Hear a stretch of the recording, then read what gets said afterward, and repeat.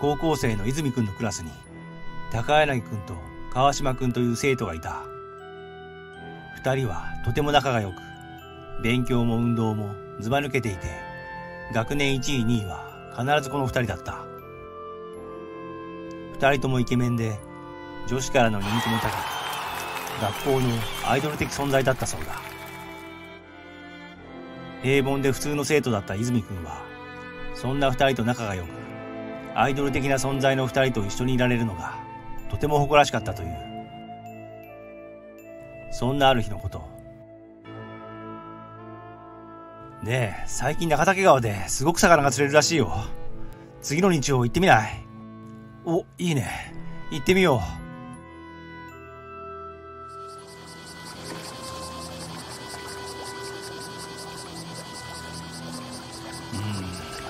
全く釣れないなお前釣れるって情報本当かよ？おかしいな。確かに釣れるって聞いたんだけどな。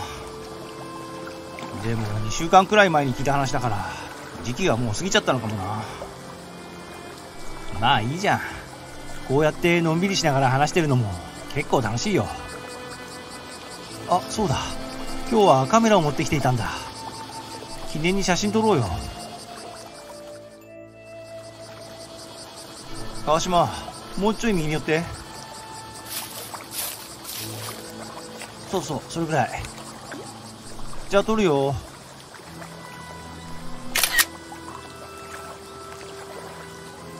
高柳と川島のオフのツーショット写真なんてかなり貴重だぞ。これを女子に言ったらかなり儲かるだろうな。3人は一日中釣りをしたが結局何も釣れず帰宅した。この前の写真できたか。各自写ってる枚数確認して焼き増ししないと。お、あの時のツーショット写真。これは価値があるぞ。ん？なんだ？何か写ってる？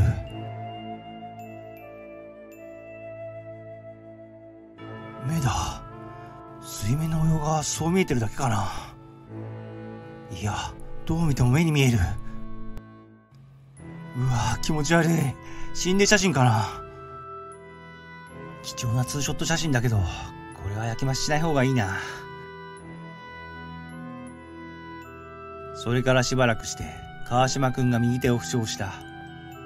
サッカー部の練習中、右手を複雑骨折し、入院することになったのだ。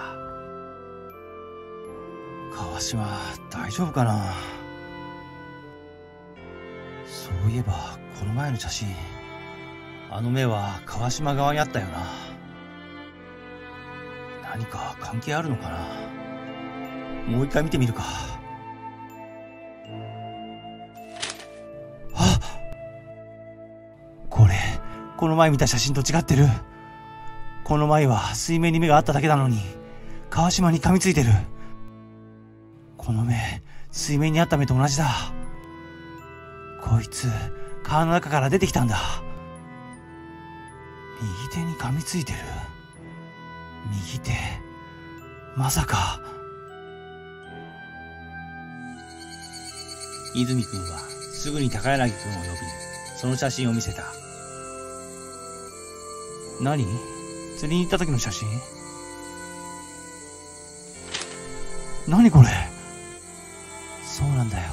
この写真初めに見た時は顔の中に目が一つあるだけだったんだ。な今日見たら、川島の右手に男が噛みついていたんだよ。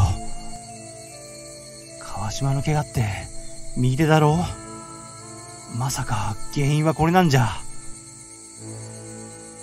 うん、そうかもしれないな。俺、ちょっとこの件を調べてみるよ。この写真借りていいかなうん、頼むよ。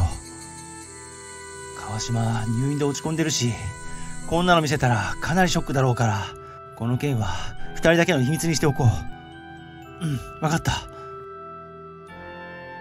それから3日後、川島くんが亡くなった。入院していた病院の屋上から飛び降りたそうだ。そんな。数日前、お見舞いに行った時は普通だったのに。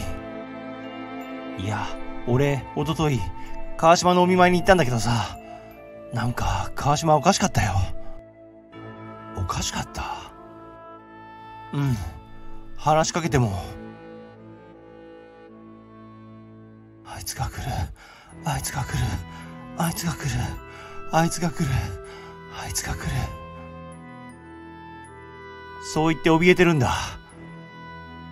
あいつが来る？誰のことだ？うん。俺も気になって聞いてみたんだけど、何も答えてくれなかった。あいつ？まさか。ねえ、高柳、あの写真もう一回見せてくれないか？あ、ああ。でも今は持ってないから、一旦家に帰って、またあの公園で会おう。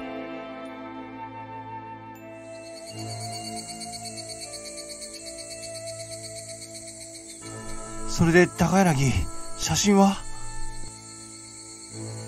これ。え、何これ？なんで写真が半分になってんの？実はさ、この写真をもらった後、また何か変化があるんじゃないかと思って、毎日見ていたんだ。川島が亡くなる前日くらいかな。あの男が川島の全身に巻きついていたよ。え？あれが俺の方にまで来たら、俺まで危ないからさ。だからハサミで切ったんだ。え？ちょっと待って。切り離せば回避できることを知ってたの？なんで？だったらなんで写真を渡した時にすぐに切らなかったの？あの時切り離してれば、川島は死ななくて済んだんじゃないの？なあ。うん。そうだな。でも、あいつがいたら、俺、一番になれないだろう